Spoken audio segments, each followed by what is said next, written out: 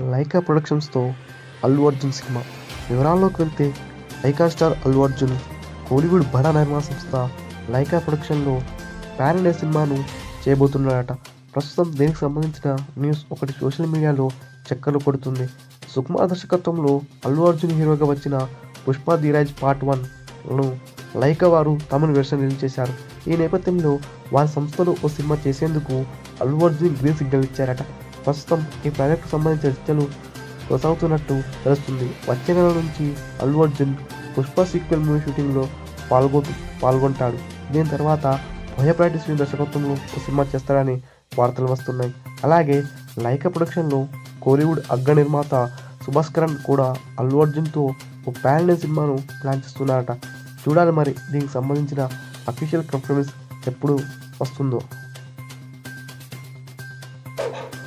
ఈ వీడియో నచ్చినట్టయితే లైక్ చేయండి షేర్ చేయండి. సబ్స్క్రైబ్ చేయడం మాత్రం మర్చిపోకండి. పక్కనే ఉన్న బెల్ ఐకాన్ని ప్రెస్ చేసి నోటిఫికేషన్ రూపంలో మా ప్రతి వీడియో మీరు పొందవచ్చు.